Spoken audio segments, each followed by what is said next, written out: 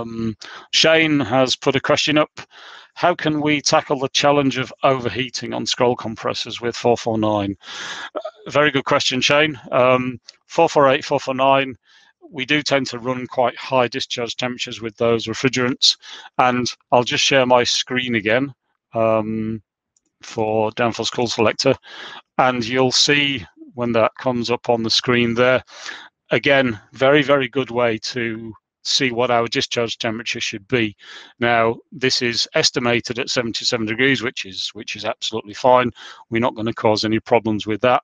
Um, there is a way, and I'll just put something up on the screen um, from one of the presentations that I did.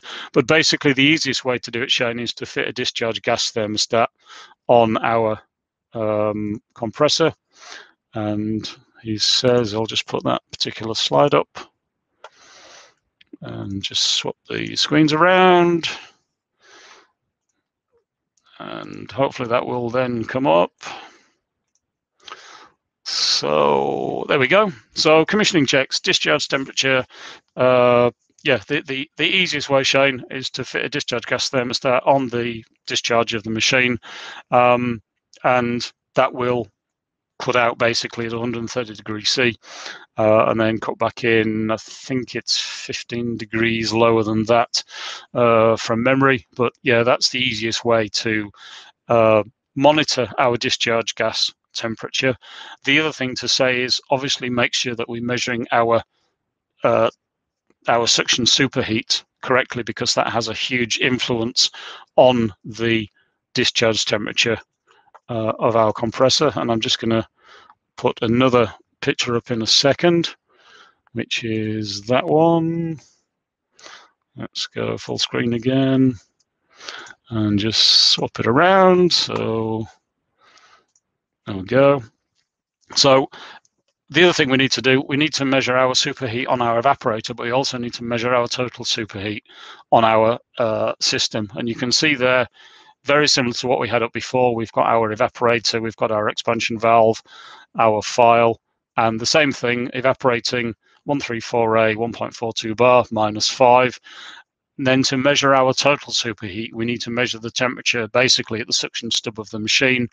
And you can see there that we are measuring uh, 8 degrees C. So we've got 13 Kelvin total superheat on our machine. Absolutely fine. That compressor will live a nice, long and happy life. Um, if we had, you know, a lot of our machines are, are okay for a return gas temperature of 20 degrees C, depending on the envelope of the machine. But basically, you've got to keep that uh, machine operating within its envelope, its happy place, as I call it.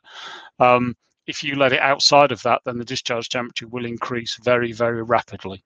Um, the other thing also with the scroll, if you run it short of gas, then the discharge temperature will increase very, very rapidly. So you've got to be very careful during the commissioning process, during the charging process, that you are not letting that discharge temperature get too high.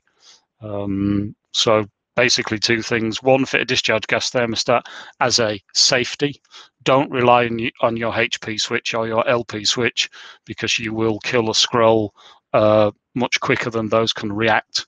So discharge gas discharge gas thermostat uh, is the main one, but also you know correct commissioning on the system. Make sure that you've got your total superheat um, okay. So I hope that answers that one, Shane.